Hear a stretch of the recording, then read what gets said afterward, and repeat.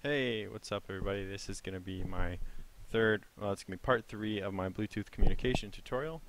Uh, we're just going to finish up, well, I guess there'll be one more short video, fourth, one more short fourth video.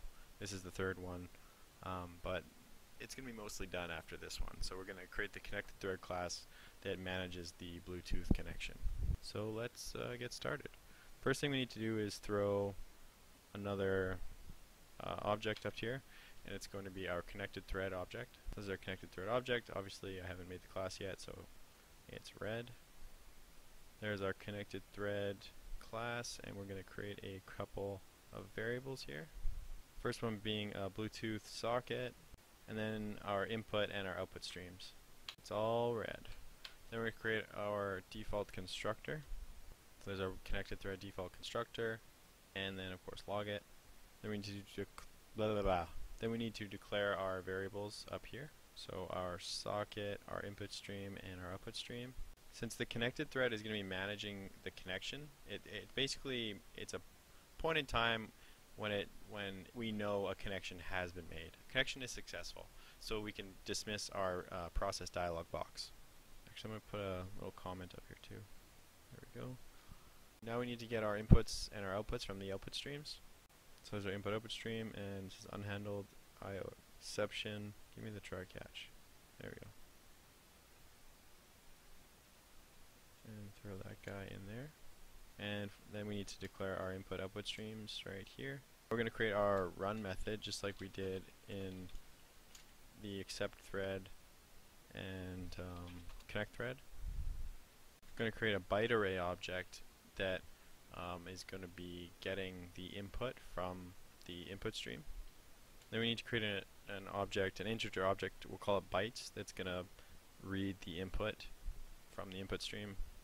Since uh, we're going to be reading, we're going to be we're going to be reading bytes, so we need to use uh, integer. Then we're going to create a while loop that listens, it listens to the input stream constantly it'll it'll just going to repeat forever once the connection is established so it will just continue listening for uh, new information coming in. While true obviously that will run forever. So there we go and then we create a string. I'll call it incoming message. It's going to it's going to convert the buffer and the bytes into uh, a string message. And then of course log it. So it will log what comes in. So the input stream is going to read the incoming message. And we need to also surround this in try catch there we go. And if there is an exception thrown, so if there's a problem with the input stream, we want to break the loop. We want to end the connection and we want to break the loop. So we'll put a break here. That's all there is to it. Then we're just going to write a few other methods. Um, one's going to be the cancel method, just like we added to the accept thread and the connect thread. And we're also going to write a, uh, create a write method, which is going to be responsible for writing to the output stream.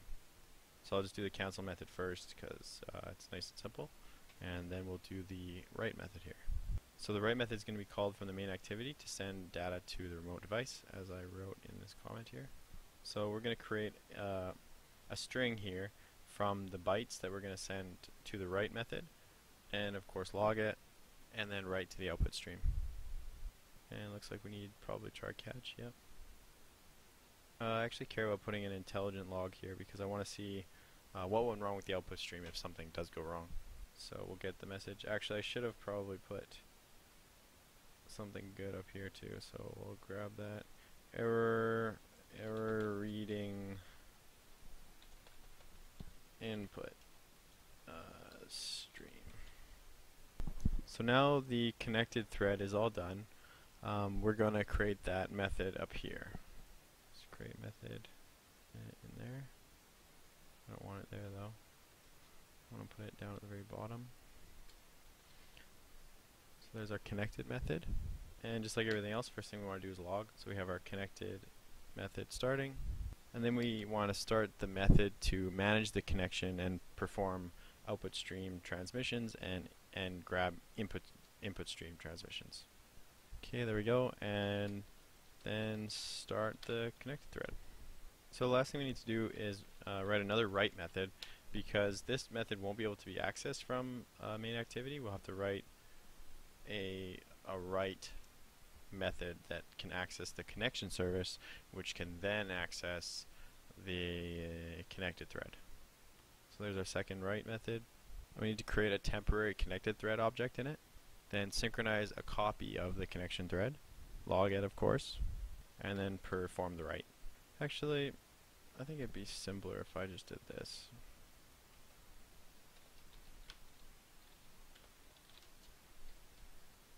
Yeah, that's fine. Um, I think yeah. So I'm gonna end, I'm gonna end this one off here. But the Bluetooth connection service class is now complete. Now all we need to do is do a few finishing touches to main activity.